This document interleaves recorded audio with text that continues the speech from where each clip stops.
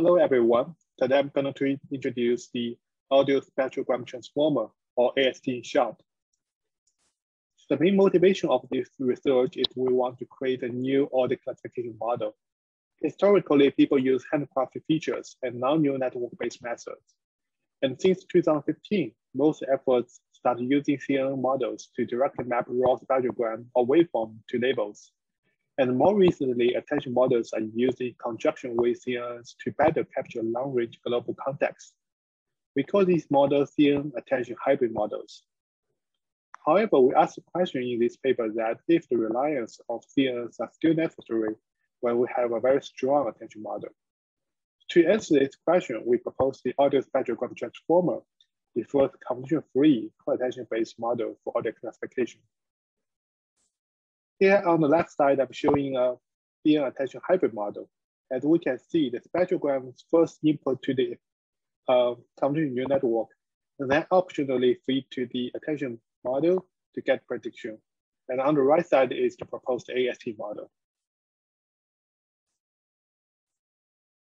Of course, it's easy to replace the attention model with transformer and has been done by a previous work here. But what we did in this work is we replaced the entire CNN attention model with a transformer.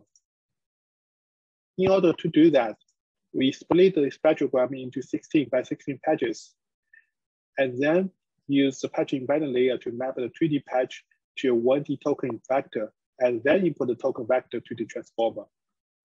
Let's take a detailed look into the AST model. We split the spectrogram to 16 by 16 patches with overlap and convert to 1D vector using a linear projection layer. We also organize the CLS token and the positional embedding.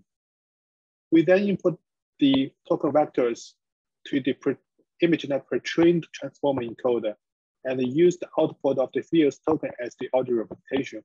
And finally, use a linear layer to classify the spectrogram.